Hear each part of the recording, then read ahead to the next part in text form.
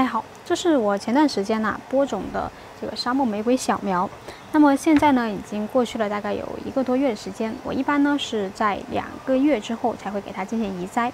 那么现在呢，一个多月，我们也开始可以给它用点肥了。那么这个时候给它用什么肥呢？首先我们要知道，现在是沙漠玫瑰的旺盛生长期，而且这个沙漠玫瑰啊，这个时候呢。呃，播种没多久，所以呢，它的根呢还不是特别发达，不是特别旺。我们这个时候呢，主要要给它补充充足的磷钾肥，来给它呃发发根，让它长出更多的新根出来。但是因为现在它是小苗期，这个氮肥呀也不能够缺失，所以呢，我这个时候就会给它用上这个真根状花型的有机营养液。这个营养液氮磷钾比例是十比三十比二十。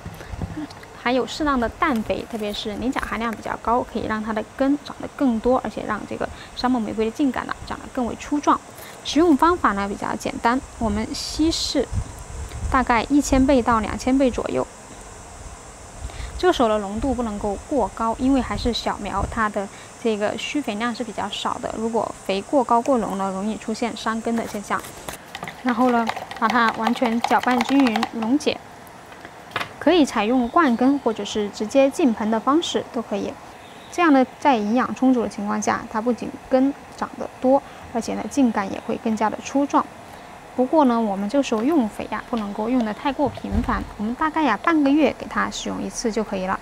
一般呢使用一个两次左右，我们就可以给它移栽了。在这期间呢，也一定要给它充足的光照，因为沙漠玫瑰是特别喜光的。